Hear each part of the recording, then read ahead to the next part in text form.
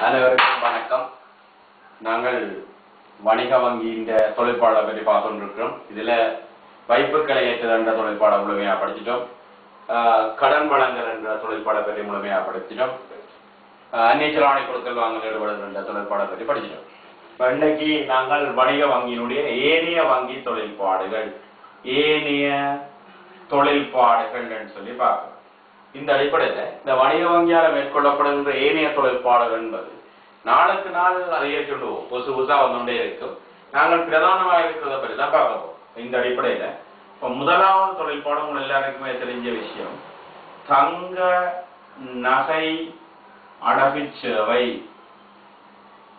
ரெண்டாவது பாதுகாப்பு அலுமாரி சேவை அல்லது பாதுகாப்பு அலுமாரி திட்டம் அல்லது காப்பு அலுமாரி திட்டம்னு சொல்லி மூன்றாவது பிரதிகர்த்தா சேவை. நாலாவது நிலையல் கட்டளையூடான கொடுக்கல் வாங்கல்கள். நிலையல் கட்டளையூடான கொடுக்கல் வாங்கல்கள் என்று சொல்லினா அஞ்சாவது குத்தகை சேவை. குத்தகை சேவை அல்லது குத்தகை வசதிகள் என்று சொல்லி சொல்லினா அடுத்தது பயணிகள் காசோலைகளை வழங்குதல். பயணிகள் காசோலைகளை வழங்குதல். பயணிகள் காசோலைகளை வழங்குதல். அடுத்தது ஏழாவது தன்னியக்க வங்கி செயற்பாடுகள் என்று கணக்க நாங்கள் சொல்லலாம். இதன் அடிப்படையில் நாங்கள் ஒன்றொன்றா பார்த்தோம் என்றால் முதலாவது சொல்ற தங்க நகை அடகு சேவை வாடிக்கையாளர்கள் அல்லது பொதுமக்கள் தங்கள்கிட்ட இருக்கிற பெருமதி மிக்க தங்க ஆபரணங்களை தங்களுக்கு ஏற்படக்கூடிய நிதிநிலைமை பிரச்சனைகளின் போது அந்த ஆவணங்க அந்த ஆபரணங்களை வங்கிகளில் சமர்ப்பித்து அதை விற்பனையாக கொடுத்து கடன்களை பெற்றுக்கொள்ளக்கூடிய வசதி இருக்கிறதுக்கு பேர் தான் இந்த தங்க நகை அழகு சேவைன்னு சொல்றோம். இந்த தங்க நகை அழகு சேவையை சமகாலத்தில் வணிக வங்கி ஒன்று மட்டும்தான் செய்தது இல்லை ஆஹ் ஏனைய சிறப்பியல் வாய்ந்த வங்கிகள் நிதி கம்பெனிகள் கூட இந்த தங்க நகை சேவை செய்து கொண்டிருக்கிறோம் ரெண்டாவது பாதுகாப்பு திட்டம் அல்லது காப்பலிமாறு திட்டம். பொதுமக்களுடைய அல்லது வாடிக்கையாளருடைய பெருமதியுடைய சொத்துக்கள் ஆவணங்கள் தங்க ஆபரணங்கள் போன்றவற்றை நாங்கள் வங்கியில கொண்டே ஆஹ் எங்களுக்கென்று ஒதுக்கப்பட்ட ஒரு சின்ன அலுமாரிக்குள்ள வச்சு பாதுகாப்பதற்கான வசதியை வங்கியில் செய்தது இதுக்காக அந்த வங்கியில் குறிப்பிட்ட தொகையை சேவை கட்டணமாக அறவிடும். அப்ப இந்த செயற்பாடுக்கு பேர் தான் பாதுகாப்பு அலுவலக திட்டம் சொல்லுவோம். இதை திறக்கிறது பூட்டுறதெல்லாம் நாங்கள் தான் வங்கி முகாமையாளர் அனுமதியோட அவையும் வந்து எங்களுக்கு முன்னால திறந்து விடுவினேன் நாங்க வைக்கலாம் எடுக்கலாம் அதுக்கு என்ன வைக்கிறோம் என்ன எடுக்கிறோம் எல்லாம் முகாமையாளருக்கு சொல்லணும் அல்ல வங்கி ஊழியருக்கு சொல்லணும்ன்ற தேவையில்லை. நீங்களே செய்யலாம். இது பொதுவாக பாதுகாப்பு நோக்கங்கள். உங்களோட வீட்டுல ரங்க ஆவரணங்களை வச்சு பாத வச்சிருக்கேக்க. களவு கொள்ளை போன்ற பிரச்சனைகள் ஏற்படலாம். அதை தவிர்த்து நீங்க நிம்மதியா இருக்கணும்ன்றதுக்காகத்தான் வங்கி உங்களுக்கு ஒரு சேவை செய்து இப்படியான ஒரு தங்க நகை அளவுப்பட்ட சேவை ஒன்று நீங்கள் சாரி இப்படியான கா- பாதுகாப்பு மாதிரி திட்டத்தை நீங்கள் பெற்றுக்கொள்ளணுமா இருந்தால் பாதுகாப்பு மாதிரி ஒன்றை பெற்றுக்கொள்ளணுமா இருந்தால் வங்கி ஒன்றில் நீங்கள் அந்த குறிப்பிட்ட தொகை பணத்தை வங்கியால் கூறப்படுகின்ற பணத்தை நிலையான வைப்பா வைப்பு செய்யணும். அது அந்த கெப்பாசிட்டிக்கு எப்ப வேறுபடும். அந்த லோக்கர் சைஸை பார்த்தீங்கன்னா ஸ்மால் சைஸ் இருக்கு மீடியம் சைஸ் இருக்கு லார்ஜ் சைஸ் இருக்கு. அந்த அதுக்கேற்ற மாதிரி அந்த ஆரம்ப வாய்ப்பு வித்தியாசப்படும். அந்த நேர வாய்ப்பை நீங்கள் வைப்பு செய்தீங்கன்னா தெரியும் பிறகு குறிப்பிட்ட காலத்தில் உங்களுக்கு தேவை இல்லைன்னா நீங்க வாங்கிட்ட திறப்ப கொடுத்துட்டு அந்த வைப்பை நீங்கள் உள்ள பெறக்கூடிய மாதிரியும் இருக்கு. அடுத்தது பிரதிகர்த்தா வங்கிகள் உங்களுக்கு ஒரு முகவரா இருக்குது. நீங்க செய்ய வேண்டிய கொடுப்பனவுல வங்கியூடாக செய்யக்கூடிய மாதிரி உதாரணம் பார்த்தீங்கன்னா சமகாலத்தில் ஏற்படும் இந்த கொரோனா பிரச்சனை. இதால நாங்கள் வெளியில போயிடாது வரையிலாது எலக்ட்ரிசிட்டி பில் பே பண்ண இல்லாமல் இருக்கு டெலிபோன் பில் பே பண்ண இல்லாமல் இருக்கு கிரெடிட் கார்டு பில் பே பண்ண இல்லாமல் இருக்கு. இதுல எல்லாத்துக்கும் நாங்கள் ஆஹ், அந்தந்த நிறுவனங்களுக்கோ இல்லை வங்கிக்கோ நேரடியாக போக இல்லாமல் இருக்குன்னா நாங்கள் பேங்க்குள்ளாக அதை செய்து கொள்ளோம் இப்போ வங்கி கூட அதை செய்வதற்கு பேர் தான் பிரதிகர்த்தா சேவை சொல்லி அடுத்தது நிலையல் கட்டளவுடான கொடுக்கல் வாங்கல். இதே வங்கியில கணக்கு வச்சிருக்க ஒருவர் ஆஹ், வங்கிக்கு எழுத்து மூலமான ஒரு கட்டளை கொடுக்குற அதை கொடுப்பனவுக்கும் செய்யலாம் பெறுவனவுக்கும் செய்யலாம். உதாரணம் நீங்கள் மாதம் மாதம் ஆஹ், ஒரு ஆயுள் காப்புறுதி கட்டணம் செலுத்தணும். நீங்களா செலுத்த போறீங்கன்னா அதை மறந்துடுவீங்க. இப்ப நீங்க என்ன செய்யலாம் வங்கிக்கு ஒரு எழுத்து மூலமான கட்டளை கொடுக்குறீங்க. என்னுடைய கணக்கினூடாக மாதம் மாதம் ஒரு ஐயாயிரம் ரூபாவை அந்த காப்புறுதி கொடுக்க சொல்லிக்கிட்டு அந்த அந்த கணக்கிலக்கம் எல்லாம் கொடுத்தா வங்கி உங்களுக்காக அதை செலுத்தி கொள்ளும். அதே மாதிரி இப்ப நீங்க ஒரு உங்களுக்கு சொந்தமான கட்டடம் ஒன்று ஒரு அளவுக்கு வாடகை கொடுத்துருக்கீங்க அப்ப நீங்க வங்கிக்கு கொடுக்குறீங்க இன்னார்ட்ட இருந்து இவ்வளவு காசு எனக்கு பெற்று தரணும் சொல்லி. அதுக்கு அவரும் உடனுக்குடனும் அவரும் சைன் பண்ணா. அவருடைய கொண்டு கழிச்சு உங்களுக்கு போட்டு தருகிறேன். அதை தான் நிலையியல் கட்டளையுடான கொடுத்தல் வாங்கல்னு சொல்லி. அடுத்த குத்தகை சேவை. பெருமதியுடைய நடைமுறையில்லா சொத்துக்களை நீண்ட கால நடுத்தர கால குறுங்கால அடிப்படையில் குத்தகைக்கு வழங்குறதுக்கு இந்த வணிக வங்கிகள் உதவிகளை வழங்கும் அதனுடைய செயற்பாடாக வச்சிருக்கு. அதான் அந்த புத்தக சேவை என்றால் அதை நாங்கள் புத்தக கம்பெனிகளை பற்றி படிக்க குத்தகை திரும்பி பார்ப்போம். புத்தக வகையில பற்றி பார்ப்போம். அடுத்தது பயணிகள் காசோலைகளை வழங்குது பயணிகள் காசோலைகளை வழங்குதல் என்றா சொன்னா இப்ப உள்நாட்டிலேயோ வெளிநாட்டிலேயோ நீங்க உல்லாச பயணங்களை மேற்கொள்ளிக்க சுற்றுலா பயணங்களை மேற்கொள்ளிருக்க வெளிநாடுகளுக்கு நீங்க போயிங்களா இருந்தா இலங்கை காசை பயன்படுத்தி வெளிநாடுகளுக்கு டக்குனு கொடுக்கல் வாங்க செய்யலாம். அதுக்காக வெளிநாட்டு காசை காசா மாத்தி கொண்டு போவீங்களா இருந்தா கூட உங்களுக்கு இடம் இருக்கு. அதை எடுத்துருங்க அதுக்காக நீங்க இங்க உள்ள வணிக வங்கிகள்ல ஒன்றை உங்களோட காசை கொடுத்து ஏற்றுக்கொள்ளக்கூடிய நாணய வடிவங்கள்ல காசோலையே அதை பெற்றுக்கொள்ளலாம். அதை நீங்க எங்க கொண்டு போறீங்களோ அந்த இடத்துல அந்த நாட்டில் உள்ள வங்கியில கொண்டே நீங்க அதை பணமா மாத்தலாம். அதுக்கு ஆதாரம் உங்களோட கடவுச்சீட்டை மட்டும் கொடுத்தீங்கன்னா சரி அந்த காசை நாங்கள் மாத்தி எடுக்கிறோம். இதுக்கு வங்கி ஒரு குறிப்பிட்ட ச- தவணை குறிப்பிட்ட ஒரு சேவை கட்டணத்தை உங்கள்ட்ட ஆகும் பாதுகாப்பான முறையில வெளிநாட்டு பயணங்களை மேற்கொள்றதுக்காக வணிக வங்கிகளுக்கு வழங்குற சேவை தான் இந்த பயணிகள் காசோலை அடுத்த தன்னியக்க வங்கி சேவை. தன்னியக்க வங்கி சேவை நீங்க பாத்தீங்கன்னு சொன்னா தன்னியக்க வங்கி சேவையில இப்ப நாங்க வாங்கிக்கல. நீங்க உங்களோட கணக்கு மீதி அறிகிறதோ அல்லது பட்டியல் கொடுப்பனோட மேற்கொள்றதோ அல்லது உங்களோட காசை அவசரத்துக்காக ஒரு பரிமாற்றம் செய்யறதுக்கோ இந்த வங்கி உங்களுக்கு தந்திருக்கு. அது ஆன்லைன் பேங்கிங் சிஸ்டம் சொல்லுவோம். அது வங்கி உங்களுக்கு ஒரு யூசர் நேமும் ஒரு பாஸ்வேர்டு தந்திருக்கும் வங்கி செய்ய வேண்டிய வங்கியுடைய செய்ய வேண்டிய வேலை நீங்க உங்களோட வீட்டில இருந்து உங்களோட கம்ப்யூட்டர்லயோ அல்லது உங்களோட லேப்டாப்லயோ அல்ல உங்களோட மொபைல் போனுக்குள்ளாலேயோ செய்யறீங்க. இது ரெஸ்ட்ரிக்ஷன் இருக்கும். எல்லா செயற்பாடுகளும் செய்யலாது. வங்கி ஊழியர் செய்யறதுல செயற்பாடுகள்ல குறிப்பிட்ட ஒரு செயற்பாடு உங்களோட கணக்கினூடாக தான் நீங்க மட்டும்தான் செய்யலாம். உங்களோட கணக்கினூடாக நீங்க தான் செய்யலாம். அதுக்கு வங்கி உங்களுக்கான நோயை தந்துருக்கு. ஆனா அதுல வர இடர்பாடுகள் இல்லாததுக்கு நீங்க தான் போறோம். அப்ப அதெல்லாம் வடிவா அதுக்கு அந்த தவணை அந்த டேர்ம்ஸ் அண்ட் கண்டிஷன் எல்லாம் இருக்கும். அது எல்லாத்தையும் ஃபில் இந்த வாசிச்ச விற்பாடு தான் நீங்க செய்யும் உங்களோட அப்ளிகேஷன் போடைக்கு அந்த அப்ளிகேஷன்ல கீழே இருக்கும். இந்த இணைய வழி வங்கி சேவை இதில் இதுல ஏற்படுகின்ற தவறுகள் குறைகளுக்கெல்லாம் நீங்க பொறுப்பாளி என்றதுக்கெல்லாம் நீங்க சைன் பண்ண போறீங்க. பேருந்து என்ற காசை கல்ல கல்ல கல்ல வங்கி கொண்டு முறைப்பாடு செய்தான் வங்கி உங்களோட வாடிக்கையாளர் கோணத்துல அதை மீளாய்வு செய்வதாக விட கட்டாயம் அதை பரிசீலனை செய்யணுன்ற தேவை கூட இல்லை என்றால் நாங்கள் வங்கி சிம்பிளாக சொல்லி போட்டிருக்கோம் இதுக்கு நாங்கள் ஒன்றும் செய்யலாது. ஆன்லைன் பேங்கிங் நீங்க தான் செய்து கொண்டிருப்பீங்கன்றதை வங்கி சொல்லும். அப்போ இதுல சொல்லப்பட்ட விஷயங்களை நாங்கள் ஏனைய வங்கி சேர்ப்பாளன்றதில் பெரும்பாலான விஷயத்தை பார்த்துட்டோம். இதில் இதுல தங்க நகர சேவை பற்றி பார்த்துட்டோம் பாதுகாப்பு சேவை பற்றி பார்த்துட்டோம் பிரதியத்தா சேவை பற்றி பார்த்துட்டோம் குத்தை வசதியை பற்றி பார்த்துட்டோம் நிலையான கட்டளையை பற்றி பார்த்துட்டோம் பயணிகள் காசோலையை பற்றி பார்த்துட்டோம் தன்னியக்க வங்கி சேவையை பற்றி பார்த்தோம் இப்ப இவ்வளவு தான் எங்களுக்கு இதுல சொல்லப்பட்ட ஏனைய வாங்கிக்க வேண்டியதுல முக்கியமான விஷயங்களாக கருதப்படும். அடுத்த பெரிய விஷயம் இந்த வணிக வங்கியில செயற்பாடுகள்ல முக்கியமானதாக கருதப்படுறது கேள்வி அடிக்கடி வாரமான ஆஹ், பாடப்பரப்பு காசோலை காசோலை என்றால் என்ன? செக்னு சொல்றோம்.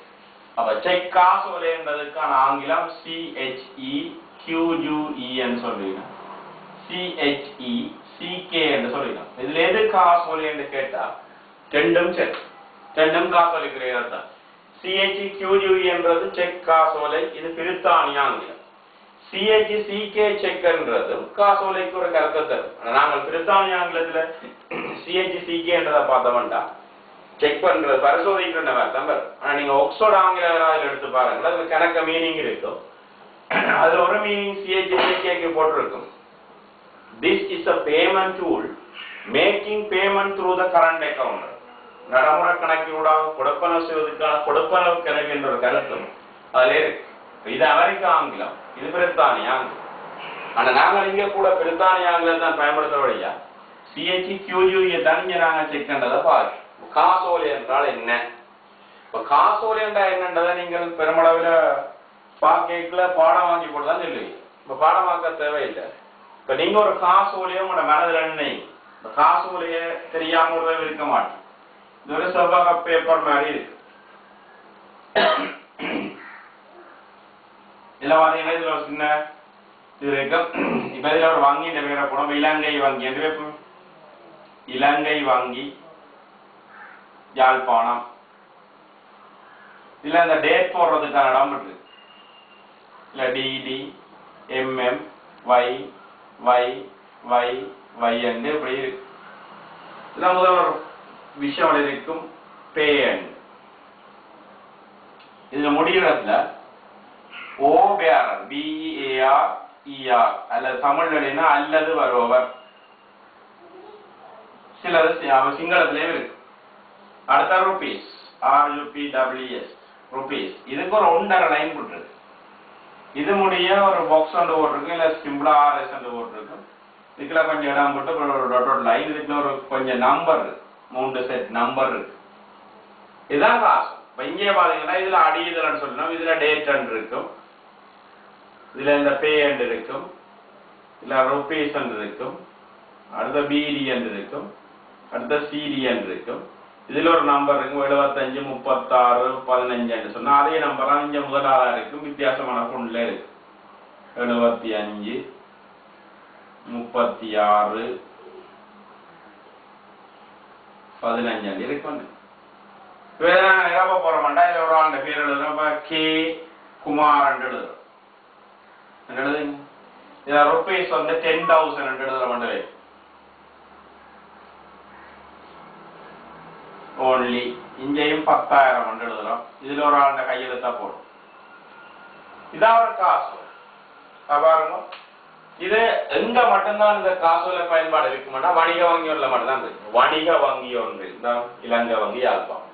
வணிக வங்கி ஒன்றில் நடைமுறை கணக்கை பெறுகின்ற வாடிக்கையாளர் இவர் இவராங்க எழுதி வைக்கிறேன் நடைமுறை கணக்கை பண்ற வாடிக்கையாளர்.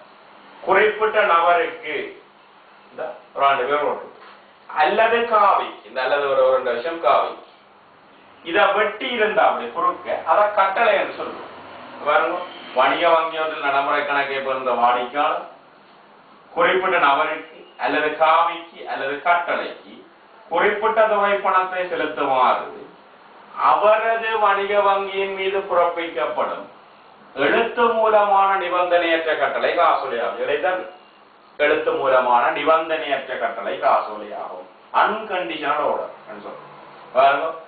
வணிக வங்கி ஒன்றில் நடைமுறை கணக்கை பண்ணுகின்ற வாடிக்கையாளர் குறிப்பிட்ட நபருக்கு அல்லது காவிக்கு அல்லது கட்டளைக்கு குறிப்பிட்ட தொகை பணத்தை செலுத்துமாறு அவரது வணிக வங்கியின் மீது பிறப்பிக்கப்படும். எழுத்து மூலமான நிபந்தனையற்ற கட்டளை காசோலை ஆகும் சொல்லி அப்ப அந்த அடிப்படையில் பாத்தீங்கன்னா நிபந்தனையற்ற கட்டளை அன்கண்டிஷனல் ஆர்டர் இதுல இதுல சொல்லப்பட்ட விஷயங்களை மட்டும்தான் நீங்க நிரப்பணும். வேற எதுவுமே நிரப்பல கட்டாயம் கொடுங்க பின்னேறத்திட்ட கொடுங்கோ. கொடுக்காட்டிக்கு என்ன செய்வன் தெரியுமோ? அப்படியெல்லாம் கேட்கலாம் ஆகவே இதான் காசோலை சொல்றோம். இந்த காசோலை ஒன்று எந்த சட்ட மூலத்துக்கு அமைய இப்ப இலங்கையில இது பயன்படுத்தப்படுதுன்னு சொன்னா உண்டியல் சட்ட மூலத்துக்கு அமையத்தான் இந்த காசோலை பயன்பாடு இடம்பெறுகின்றது சொல்லி சொல்லி அடுத்தது இந்த காசோலையோட தொடர்புடைய தரப்பினர்கள். யார் யார் இந்த காசோலையோட தொடர்புடலாம் என்று சொல்லி பாத்தீங்கன்னா இந்த மூன்று பேர் காசோலை தொடர்புடலாம் இதுலயே இருக்கு பாரு. இவரை சொல்றது வரையுணர் அதாவது நடைமுறை கணக்கின் உடைமையாளர் ரோவர் என்று சொல்றோம். இதை சொல்றது வரையுணி என்று சொல்றோம். அல்லது வணிக வங்கி என்று சொல்றோம். ரோயி என்று சொல்றோம். இதுல சொல்லப்பட்ட நபர் ஆற்ற பேர்ல அந்த காசோலை வரையப்பட்டிருக்கிறார். அவரை நாங்க சொல்றோம் பேய் என்று சொல்லி சொல்றோம். பேய் என்று இந்த மூன்று நபரும் தான் காசோலையில தொடர்பா நம்ம காசோலை ஒண்ணு நினைச்சாலே உங்களுக்கு அடையோ உங்களுக்கு இந்த காசோலை ஒரு கண்ணாடானவனும் இல்லை. சிம்பிளா நீங்கள் அதை விளங்கப்படுத்திக் கொள்ளும் ஒரு கஷ்டமே அடுத்தது காசோலி ஒன்றில் காணப்படும் இந்த அடிப்படை அம்சம். இந்த அடிப்படை அம்சம் வேண்டா இதை ஒன்றண்டு ஓடுறன் இதை ரெண்டண்டு ஓடுறன் இதை மூன்றண்டு ஓடுறன் இதை நாலண்டு ஓடுறன் இதையும் இதையும் அஞ்சண்டு ஓடுறன் சரி. இதை ஆறண்டு ஓடுறன் இவடாத்த ஏழண்டு ஓடுறன் இதுல உள்ளத எட்டண்டு ஓடுறன் இதுக்குள்ள உள்ளத ஒன்பதண்டு ஓடுறன் இதுக்குள்ள உள்ளதா பத்தண்டு ஊர். இங்கால பதினொன்றுண்டா இந்த ஒன்று என்ன சொல்லுதுண்டா? வணிக வங்கியுடைய பெயரும் கிளையின் பெயரும். இப்ப யாழ்ப்பாணம்ன்றது முகவரி அல்ல. வங்கிக்கு முகவரி இல்லை. அப்ப இலங்கை வங்கி என்றது வணிக வங்கியின் பெயர். யாழ்ப்பாணம் என்றது கிளையின் பெயர். வணிக வங்கியின் பெயரும் வங்கி கிளையின் பெயரும். இரண்டாவது இந்த பணம் செலுத்த வேண்டிய தேதி. சும்மா தேதி என்று சொல்லாது. இந்த டேட்ல தான் அல்ல இதுக்கு பிறகுதான் வங்கி பணத்தை செலுத்தும். அடுத்தது ஆஹ், மூன்றாவது பெருணர் பெயர். பெருணர் பெயர்னு சொல்றோம் மூன்றாவது. ஆற்ற ஆறுக்காக காசோலை கொடுக்கிறோம் அதான் பெருணர் பெயர். நாலாவது அல்லது வருபவர் என்ற பதம். அஞ்சாவது எழுத்திலும் இலக்கத்திலுமான பணத்தொகை. எவ்வளவு காசு என்றதை எழுத்திலே விளக்கத்திலே இருக்கும் ஆறாவது வரையுணர் கையொப்பம் என்பது சொல்லி ஆறாவது. ஏழாவது இந்த இப்படியே விடாத கிரேலை விடாத சொல்றது? காந்த மைப்பட்டியல் காந்த மைப்பட்டியல் எட்டாவது இந்த கடைசியா இந்த காந்தமை பட்டியல் இருக்கிற கடைசியான விஷயம் நடைமுறை கணக்கிலக்கம். இந்த வைப்பாளருடைய நடைமுறை கணக்கிலக்கம்னு சொல்லி. அந்த ஒன்பதாவதா இருக்கிற நடுக்குள நடுக்குளத்துக்குள்ள இருக்கிறது. அந்த வணிக வங்கியுடைய இலக்கம் அந்த கிளை இலக்கம். இதுலயும் இதுலயும் ஒன்றா இருக்கு மனையா பாத்தீங்கன்னா இந்த நம்பரை சொல்றது காசோலை இலக்கம். இந்த துண்டு விழாத்தை சொல்றோம் அடியுதல்னு சொல்லி சொல்றோம். இவ்வளவுதான் ஒரு காசோலையில் காணப்படுகின்ற அடிப்படை அம்சங்களாக காணப்படும். அடுத்தது காசோலை ஒன்றை வரைகின்ற பொழுது கவனத்தில் கொள்ள வேண்டிய காரணி. இது இரண்டாயிரத்தி பத்தொன்பதாம் ஆண்டு இந்த கேள்வி வந்தது. காசோலை ஒன்றை வரைகின்ற பொழுது கவனத்தில் கொள்ள வேண்டிய அடிப்படை காரணிகளை குறிப்பிடு அப்படி பாத்தீங்கன்னு சொன்னா முதலாவது நீங்க என்ன செய்யணும்னா எளிதில் அழியாத மையினை பயன்படுத்தி காசோலை வருதல் வேண்டும். இங்க் பென் ஜெல் பென்களால செக் எழுதக்கூடாது நீங்க எழுதுவீங்களா இருந்தான்னு சொன்னா அளந்து பட்டா ஒன்றுல அழிஞ்சிடும் அல்லது ஏழு ஒன்பது மாதிரி வந்துடும். பூச்சியோட ஒன்பது மாதிரி வந்துடும். இப்ப அளந்து பற்றும் ஆகவே எளிதில் அழியாத மையை பயன்படுத்துதல் வேண்டும்.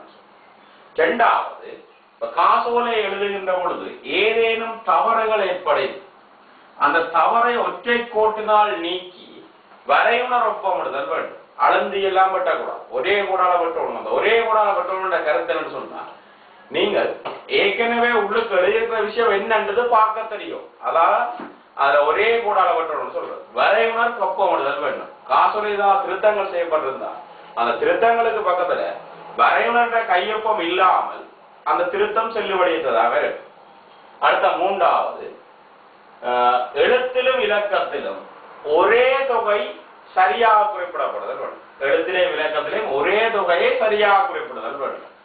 அடுத்தது ஒரே மொழியில் காசோலையை பூர்ணப்படுத்தும். இப்ப நீங்க எழுதல இப்ப கே குமார்ன்றது சிம்பிளா எழுதலாம் இங்கிலீஷ் எழுதி. இதுல பத்தாயிரத்தி முன்னூத்தி நாற்பத்தஞ்சு ரூபாய் பதினஞ்சு தமிழ் எழுதலாம் காசோலைய அரச கர்ம மொழியில் எழுதலாம். தமிழ்லையும் எழுதலாம் இங்கிலீஷ்லையும் எழுதலாம். இங்கிலீஷ்லையும் எழுதலாம் இங்கிலீஷ்லாம் செக் எழுதுறதுக்கு நீங்க அது ஒன்றுமே இல்லை. தமிழ்ல அப்படியே எழுதலாம். ஒரு பிரச்சனையும் இல்லை. நான் எழுத வேண்டாம் எல்லாத்தையும் ஒரே மாதிரியே எழுதி கொள்ளும் அடுத்தது உம், பெறுநர் பெயரை சரியாக தெளிவாக குறிப்பிடுதல் வேண்டும். அடுத்தது பணம் செலுத்த வேண்டிய தியதி சரியாக குறிப்பிடப்படுதல் வேண்டும். அடுத்த விஷயம் வரையுணர் மாதிரி கையொப்பத்துக்கு ஏற்ப ஒப்பமிடுதல் வேண்டும். அந்த அவர் அந்த அக்கௌண்ட் கேட்க எப்படி சைன் பண்ணி கொடுத்தாரோ பேங்க்கு அதே மாதிரி சைன் பண்ணி கொடுப்போம். அடுத்தது மதிப்புக்குரிய சொற்பதங்களை காசோலையில் பயன்படுத்தல் கூடாது பகவானவாதன் இவர் குமார். திருகுமார் திருமலை குமார் வணக்கத்துக்குரிய குமார் இந்த சோடி பிள்ளந்தவை மதிப்புக்குரிய சொற்களங்களை நீங்க காசோலை பயன்படுத்த தேவையில்லை. இப்ப இவ்வளவு விஷயம் நாங்கள் காசோலை சம்பந்தமா படிச்சோம் இனி அடுத்தா போல காசோலைன்ற வகையில இருந்து துவங்குவோம் இந்தியா இந்த செஷனை முடிச்சு கொண்டு நாளை காசோலைன்ற வகையில இருந்து தொடங்கும் சரியா? நன்றி.